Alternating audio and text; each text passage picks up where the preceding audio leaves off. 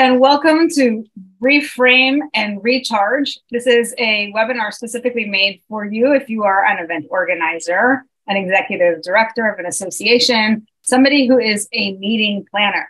Now, in this webinar, we're going to explore some practical strategies to conquer stress, minimize burnout, and thrive in your roles as event organizers.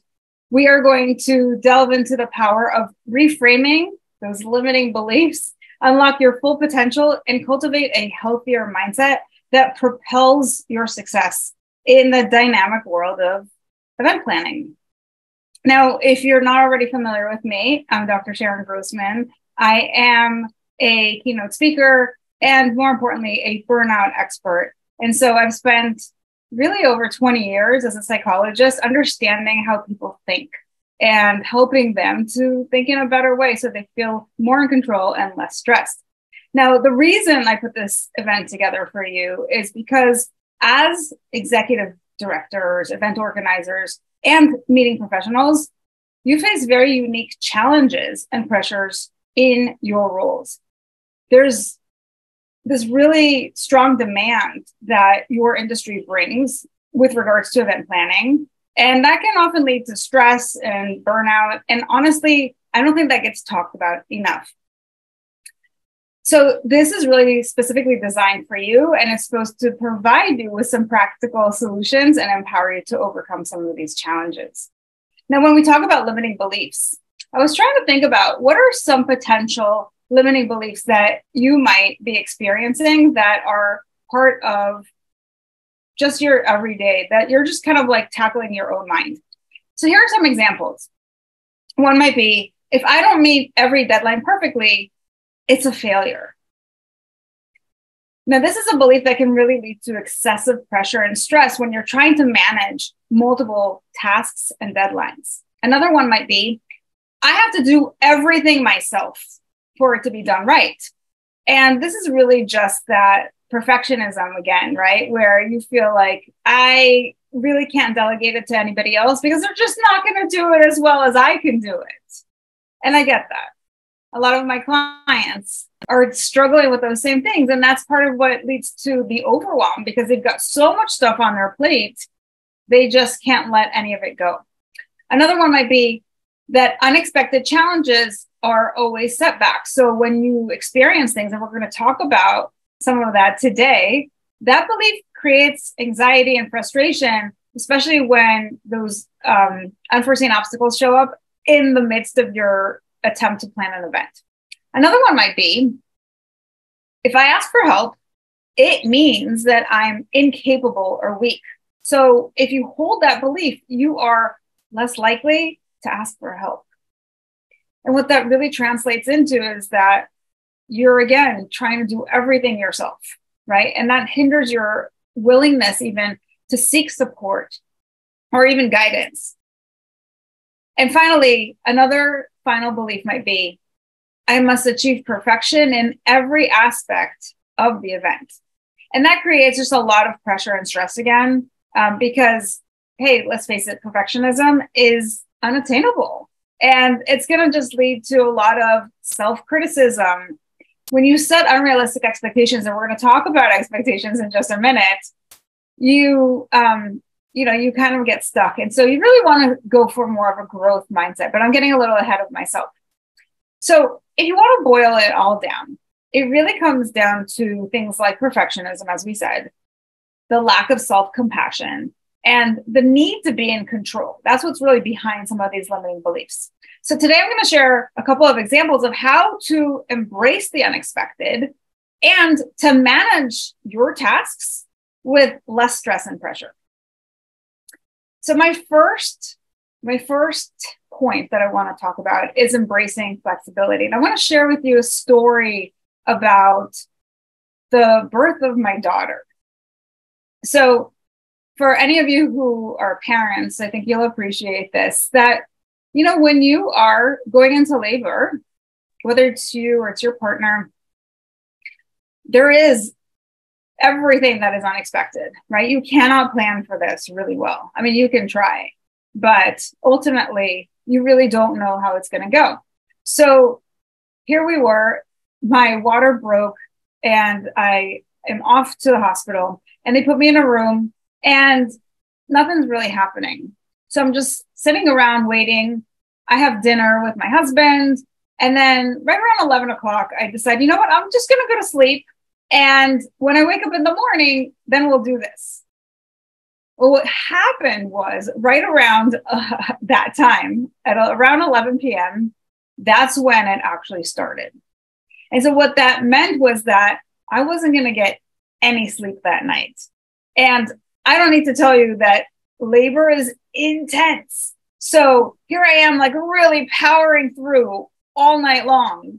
And it took 12 hours. But I didn't know that. I didn't know how long it was actually going to take. So in my mind, I was having this inner battle of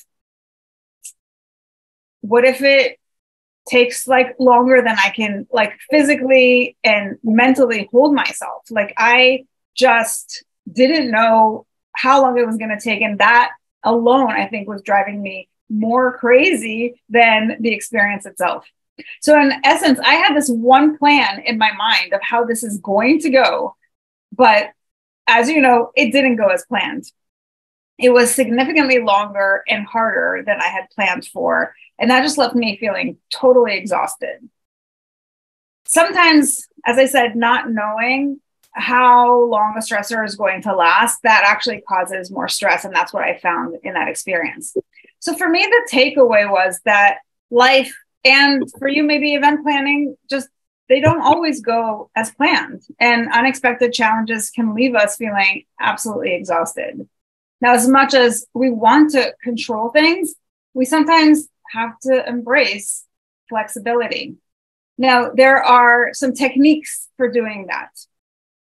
Uh, the first one is really a mindset shift. So you want to try to be adaptable to change. And maybe a mantra that you can adopt is embrace change, go with the flow.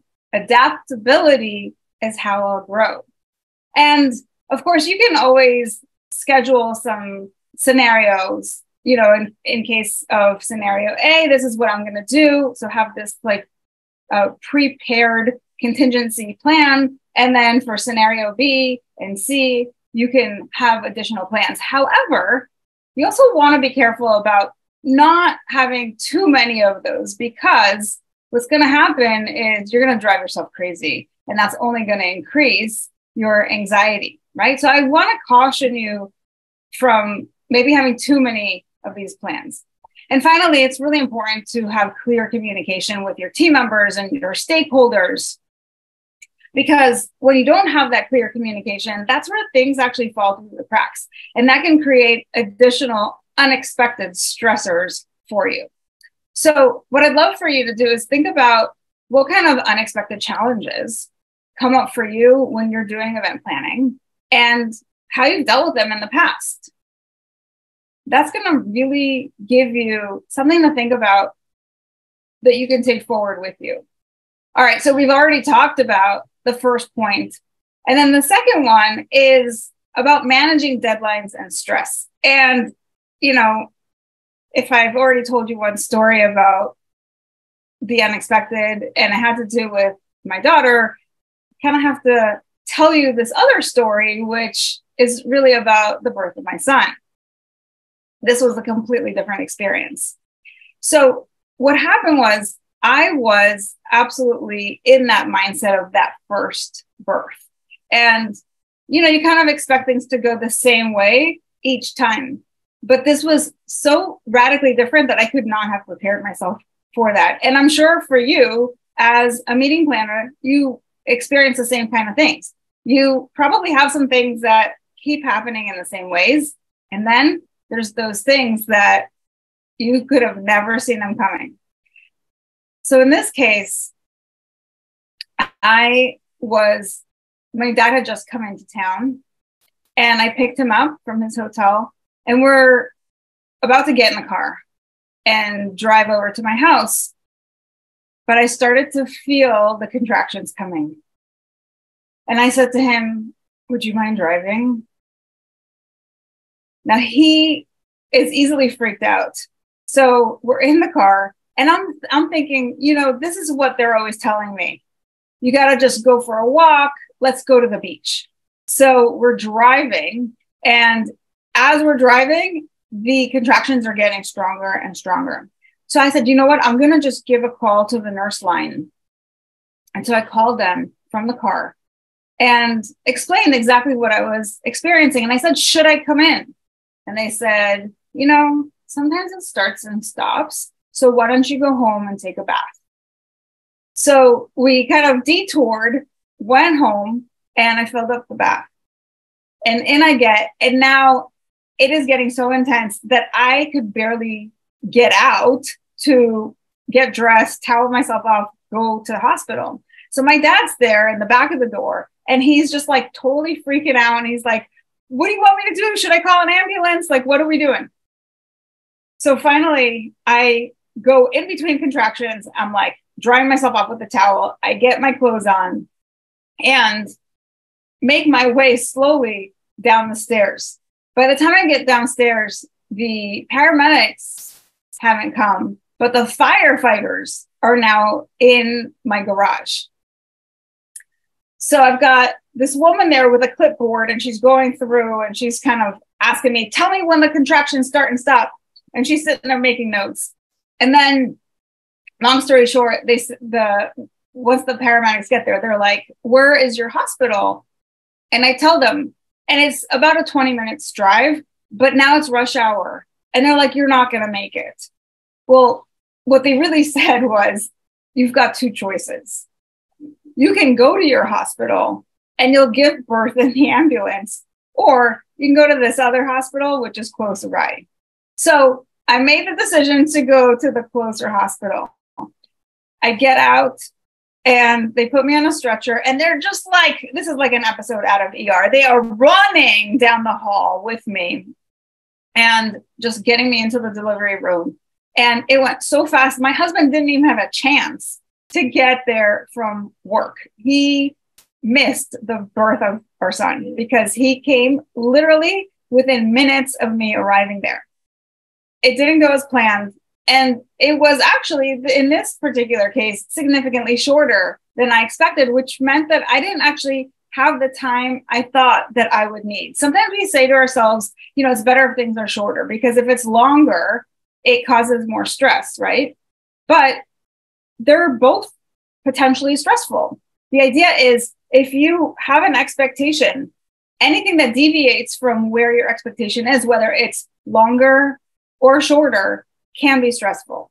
And so for me, the takeaway is that sometimes we underestimate how long things will take.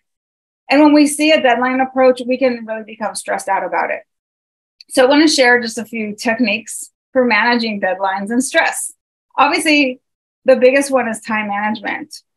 And so I want you to think about some effective time allocation and prioritization ideas, right? What are some things that you've used in the past to help you manage your time when you know that you've got something like 20, 30 different details to attend to.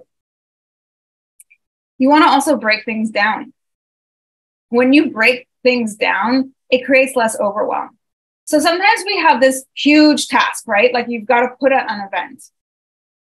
But when you break it down into the multiple components of that, then you can just focus on one aspect at a time. And even within those, you can further break them down in terms of the people you need to call or the different things you need to research or the calls you need to make um, to just secure different vendors, to talk to the speakers, to figure out all the logistics. So just breaking things down into smaller tasks is a great way to prevent overwhelm. And then just like with anyone else, and this is something that I would say to your audiences if I was speaking to them at one of your conferences, I would say it's also important to focus on self care and stress relief.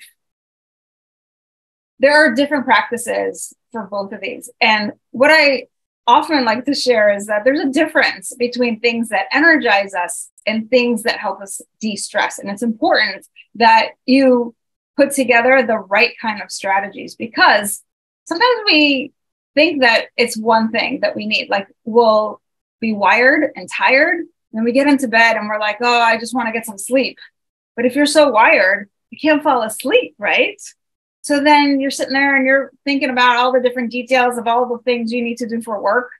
It's not going to work for you. You're not going to fall asleep. You're going to actually waste more time. So, what I recommend in that case is do something first to de stress, to really take the edge off so that you can relax and then fall into sleep. So, what is it that relaxes you?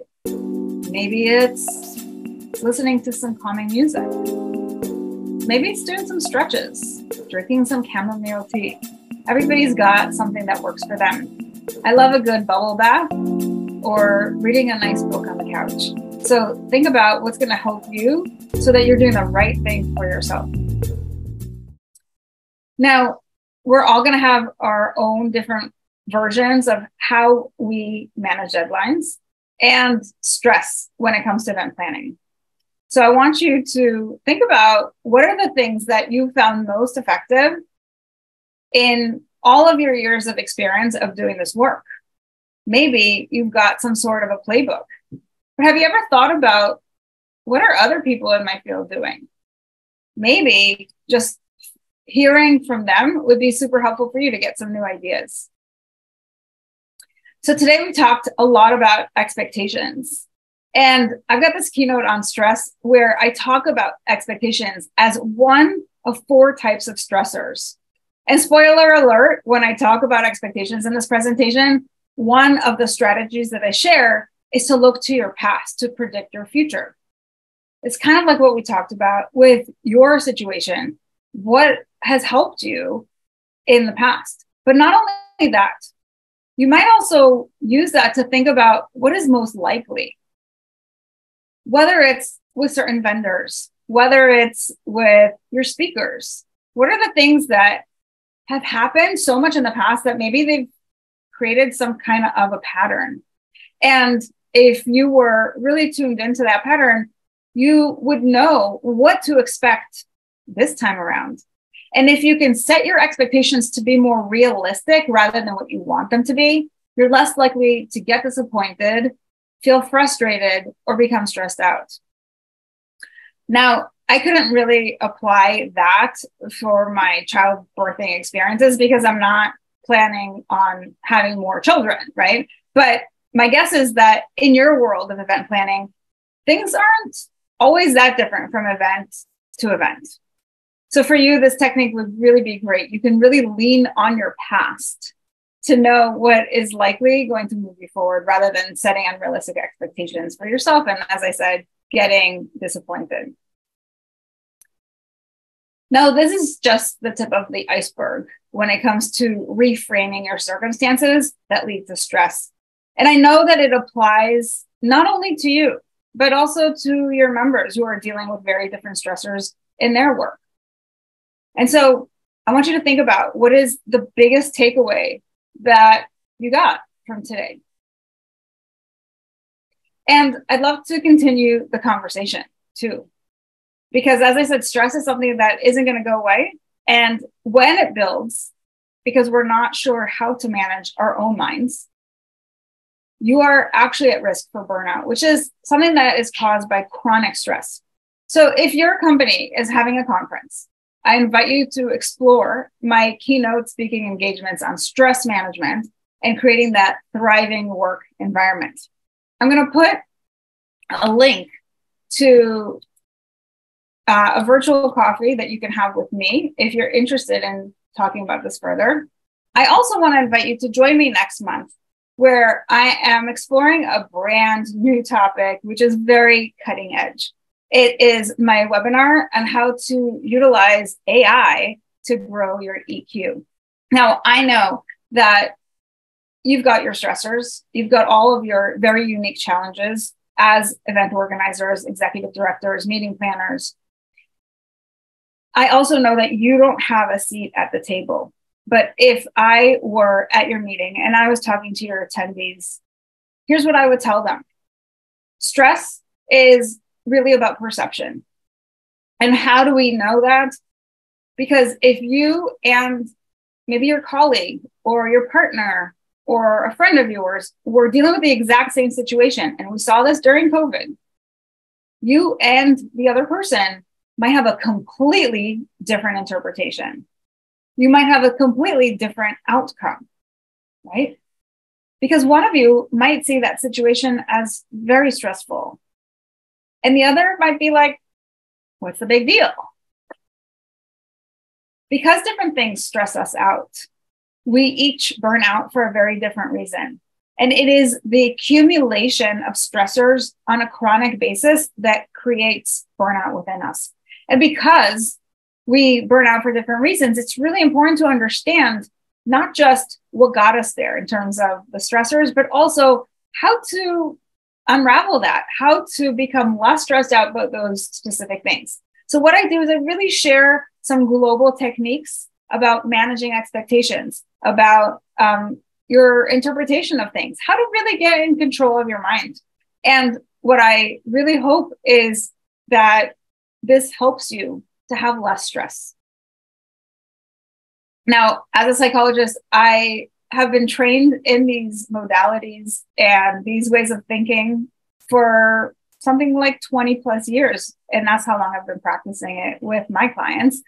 And now I've given these at least a, a few tools today to you so that you can have less stress. And I can also help your attendees have less stress as well. So I hope to have the opportunity to talk with you directly and see how what we're doing here today can be helpful for your events. Thank you so much for joining me. I'm Dr. Sharon Grossman, and I'll see you next time. Bye bye.